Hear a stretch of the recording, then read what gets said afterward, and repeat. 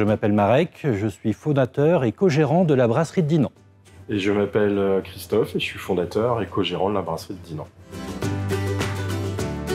La brasserie de Dinan existe maintenant depuis deux ans. On fabrique de la bière. On, on aime beaucoup hein, faire nos bières euh, en les accordant avec des mets.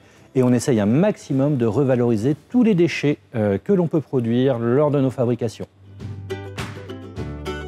Et donc, euh, les objectifs de la brasserie de Dinan, à terme, ce serait d'arriver euh, à un niveau de cuve qui soit à peu près de 2000 litres, mais de pouvoir formaliser, de développer l'aspect industriel sur la revalorisation euh, de nos déchets biologiques, les drèches, et par la même occasion, bien sûr, créer de la valeur, donc de l'emploi, et de montrer un peu l'aspect dynamique du territoire de Dinan, de la communauté d'agglomération de, de Dinan.